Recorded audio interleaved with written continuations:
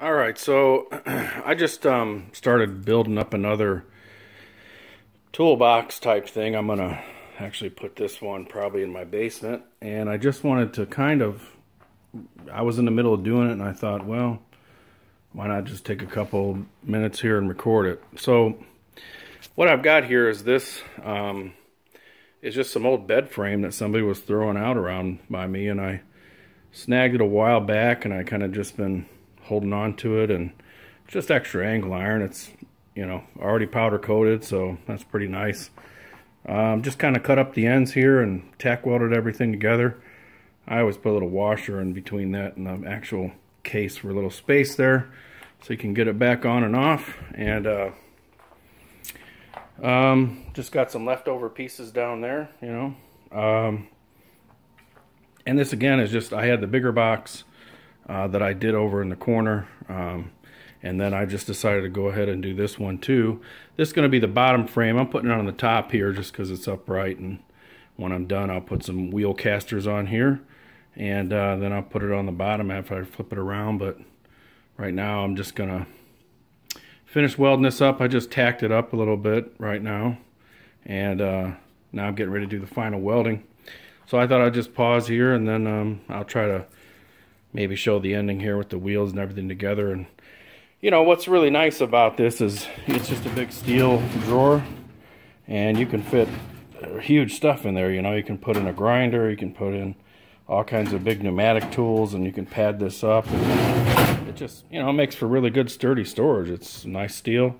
I got this given to me for nothing. Um, somebody just didn't want it near me and uh, so then it's just something that if you're looking to expand your toolbox capacity and you don't want to put up a, a big metal shelf uh, or even a little metal shelf you know you can put wheels on this thing you can move it around the garage or move it around your basement um, and then it just makes for great storage. So yeah I'll just you know once I have the wheels on here and everything else together I'll try to show up the final part.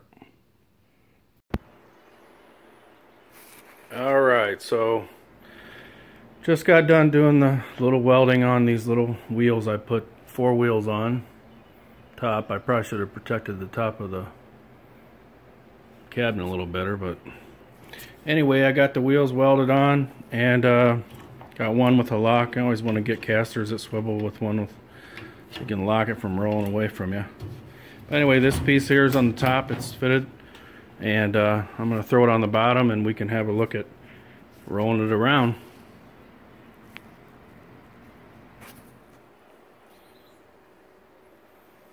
Okay, so there it is. Got the uh, top here. Got the wheels on the bottom. Little caster swiveling. Even have the one off to the side. If I want to lock it can just push down the little lock there.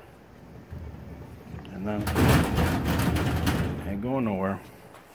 So if you're looking for some good storage you know the uh, the old